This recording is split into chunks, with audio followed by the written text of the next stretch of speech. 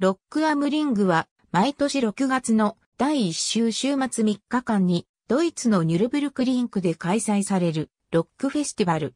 ニュルンベルクのツェッペリンフェルトでロックイムパルクも同時開催され、出演アーティストを入れ替える方式をとっている。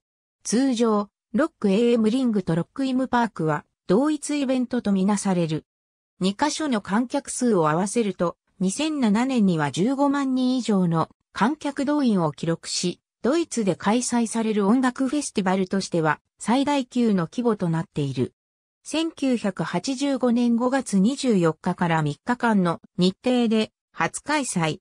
3日間で延べ7万5千名を動員。翌86年以降は2日間の開催だったが、1989年と1990年は中止。1991年から3日間の日程に戻る。2008年には8万5千名を動員した。同音楽祭のスピンオフとして1993年にオーストリアウィーンでロックイムパルクが初めて開催。その後はミュンヘンでも開催。1997年以降は会場をフランケンシュタディオンに移して行われていたが、2004年、2006年、ドイツ W 杯の会場として、フランケンシュタディオンが改装工事に入ることをきっかけに、すぐ近くのツェッペリンフェルトに会場を移している。2006年は W 杯準備の関係で10月に開催された。